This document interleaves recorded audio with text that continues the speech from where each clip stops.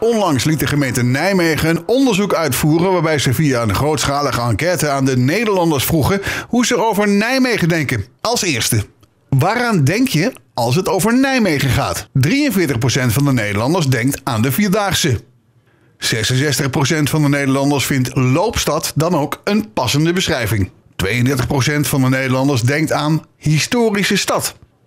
En 35% van de Nederlanders noemt Nijmegen dan ook als oudste stad van Nederland. Rapportcijfer. Nederlanders waarderen Nijmegen met een gemiddeld rapportcijfer van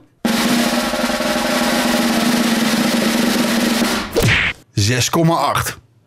Een bezoek aan Nijmegen. Een kwart van de Nederlanders is het afgelopen jaar één of meerdere keren in Nijmegen geweest.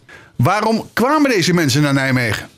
32% kwam voor een bezoek aan bekenden. 31% kwam voor vrije tijdsdoelen zoals winkelen. En 22% kwam om zakelijke redenen.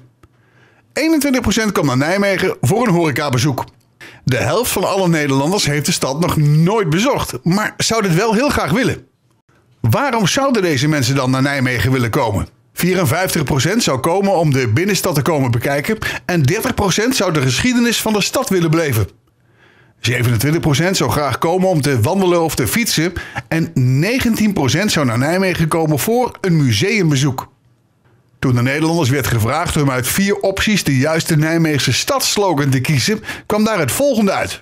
9% van de Nederlanders koos voor Het mag in Nijmegen. 17% ging voor Thuis in Nijmegen. En 66% koos voor Nijmegen. Eeuwenoud en springlevend. En maar 8% koos het goede antwoord. Altijd Nijmegen. Daar kan de stad dus nog wel wat winst behalen.